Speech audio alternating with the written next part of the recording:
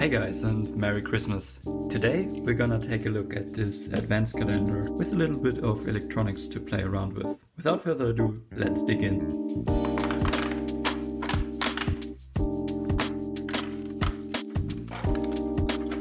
It's supposed to be a green diode in there, but it's missing unfortunately. Alright, so I got a diode from my Arduino kit and I got some batteries. So day one is just get the diode to light up and it's not working. So after breaking two of these diodes with too much current because I directly connected them to the battery pack, I realized that the diodes in this kit actually have an inbuilt resistor, which these diodes that I took from another kit, they don't have that. So I need to add a resistor to the circuit and um, only then it is safe to plug the in. There we go. Oh, so it lights up. So in day two, you add a little switch. So yeah, that works. In day three, we get a condenser. And with condenser, I mean capacitor. I'm sorry, condenser is just the directly translated word from German. This one has a capacity of 100 microfarad and it's actually important which way around you plug it in.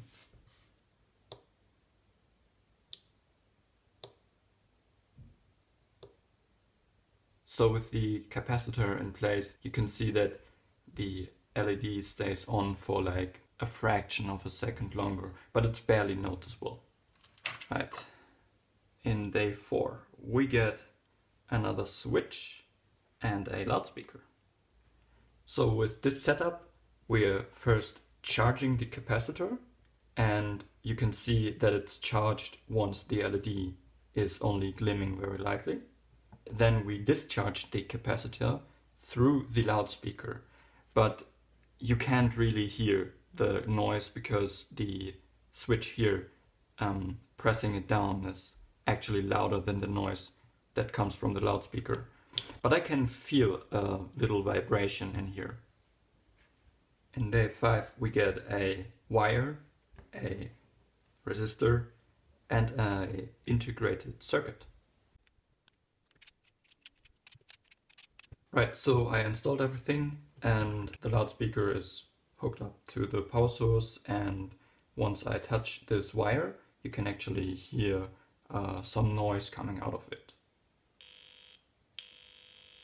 over to day 6 where we get a ceramic capacitor. This capacitor has a capacity of 100 nanofarad, so this one is a thousand times smaller than that one. And the cool thing is with ceramic capacitors, it doesn't matter which way around you put it. Up to day 7, that's we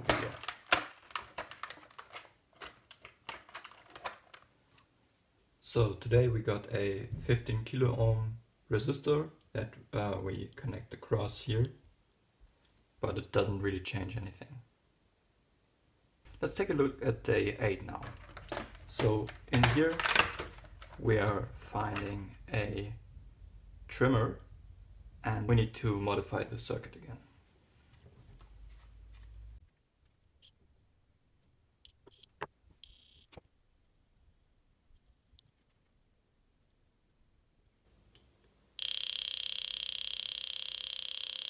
There we go.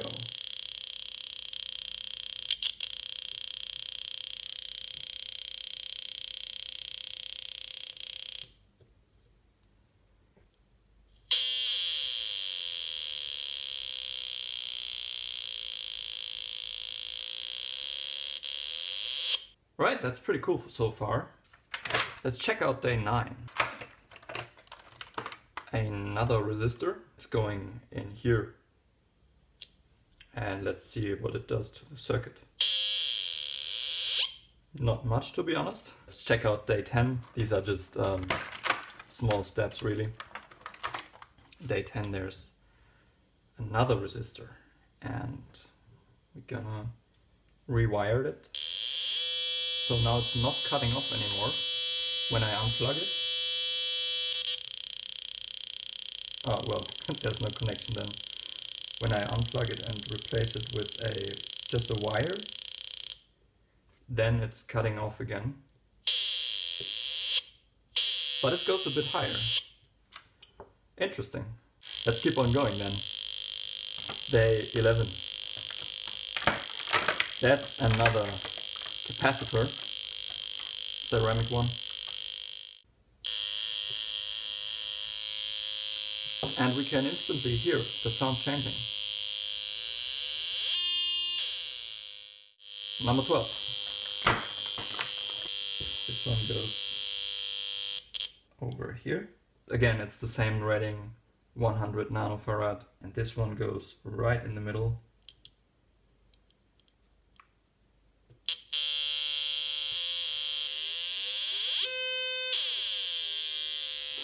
Right, day 13. I had to unplug it for a second. Today we're getting a sound processor, and this one is actually pre-programmed. It's got an integrated circuit on here on the board and a lot of pins that we can address. So I'm gonna switch over the circuit, plug it in and see what happens.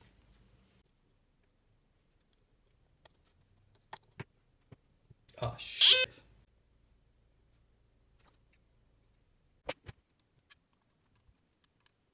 Right, so I had a hard time getting this one in there because um, maybe you can see it here. There is actually one step or one space in between here and I thought it needs to go in there so I bent all the pins and therefore I almost broke the board. So don't make that mistake if you get this calendar. Leave one space here and I had um, to use quite a bit of gentle force to get it back into place.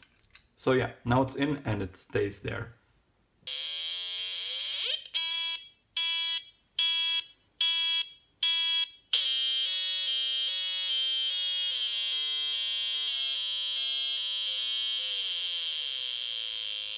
Okay, so as we can hear, the soundboard is now switching two frequencies back and forth and uh, up to the point where we cannot hear one frequency anymore.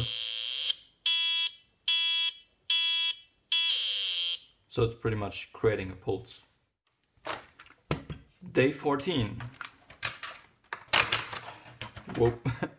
We're getting another soundboard. No, another breadboard that attaches right here and the whole circuit gets extended.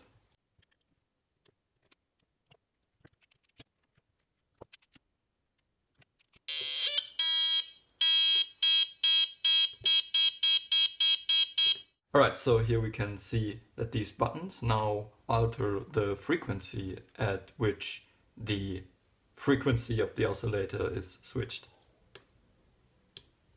Day 15. Another one with 100 microfarads.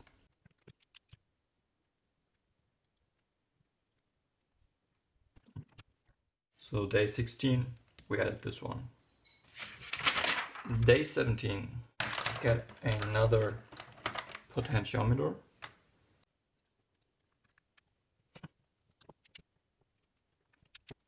Okay, so now I hooked everything up, but um, the whole thing got very, very quiet. You can barely hear it. So um, I hope in the next steps it's gonna be amplified again. Next up, we're gonna build the casing.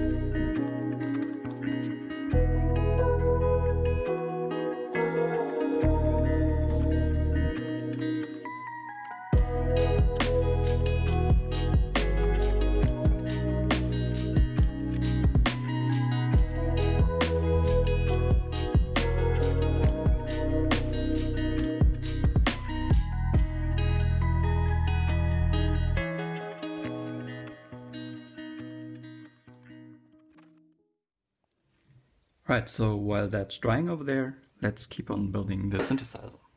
Day 18. While installing the parts, my camera died, but um, yeah, this is what happens. So we got an amplifier function over here, and then the frequency again. So I'm gonna turn this up.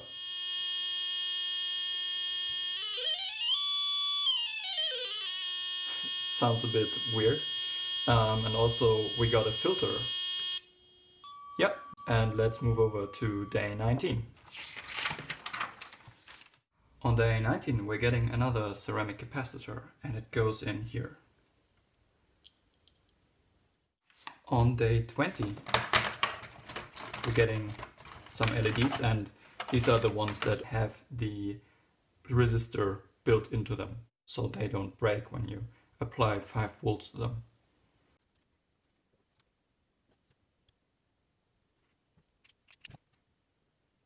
Right, so day 20 didn't really work. There's supposed to be a sequence of the lights here, but it doesn't work. I checked everything twice.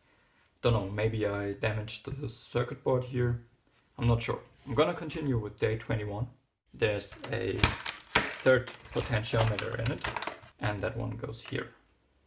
Again, no real effect with that one. I'm gonna continue with day 22, and then in the end, I'll see if I can fix some things. So this button is supposed to save the current pattern, but again, doesn't work, so gonna move on to the next one. Day 23, another button.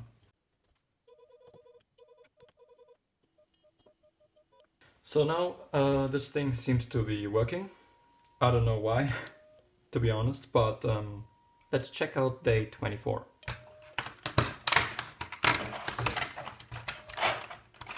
Right, we get some more LEDs. Let's put them in.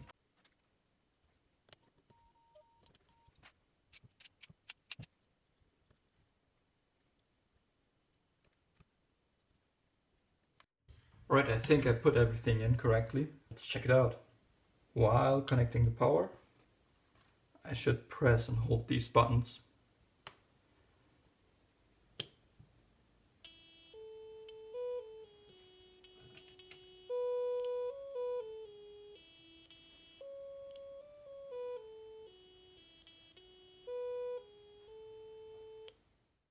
Right, so I glued the speaker into the box and I played around with it for a while. Now I'm gonna show you two different modes to operate this in. I found them to be most interesting. So to switch a mode, you are going to unplug and replug the power cable.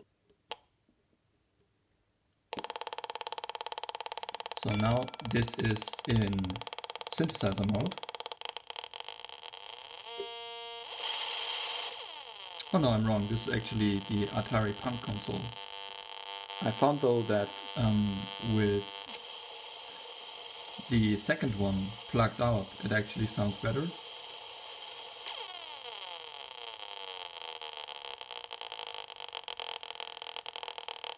So I'm gonna unplug this one.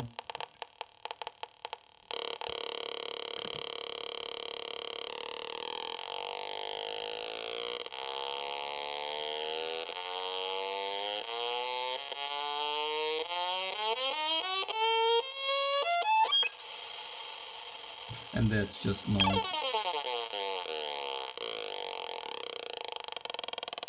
Yeah, that's pretty much the Atari Punk console. So the second mode that I found interesting was the three oscillator mode. I'm gonna press one and two together and power it.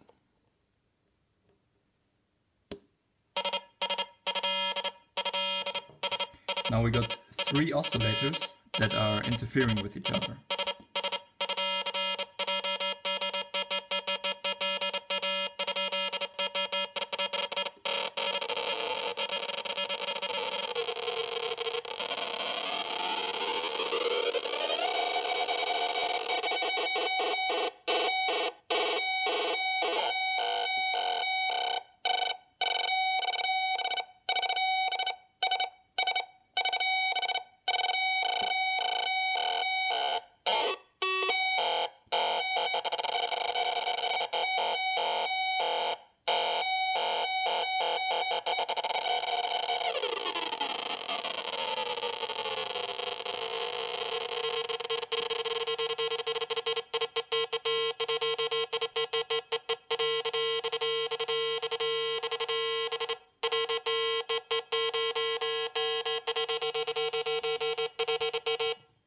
So one other mode that I really wanted to show you is the step sequencer mode, but I couldn't make it work. For some reason I cannot dial in the pitch value and the duration of the tones, so I can't really cycle through these, um, what is it, 256 steps that you could sequence with this. So this would be pretty cool, but unfortunately it doesn't work. I've been fiddling around with it for like two hours now. If you have any tips on that or if you build it yourself, uh, let me know in the comments. Maybe I'm doing something wrong. You can look at the schematic here. Uh, I think I've wired everything correctly, but um, then again, yeah, it's alright if it doesn't have that functionality. It was still a fun build. And this also leads over to my conclusion. So, is it worth it? Yes and no, I would say. So, on the one side, I had quite a bit of fun building it and also a bit of headache. But on the other hand, the missing functionality of the step sequencer, or let's say the fact that it doesn't work intuitively, is a bit of a disappointment. All in all, I spent a few hours with this and it was actually nice and relaxing, but I would not recommend this as an advent calendar because it really only makes sense if you build it in one go.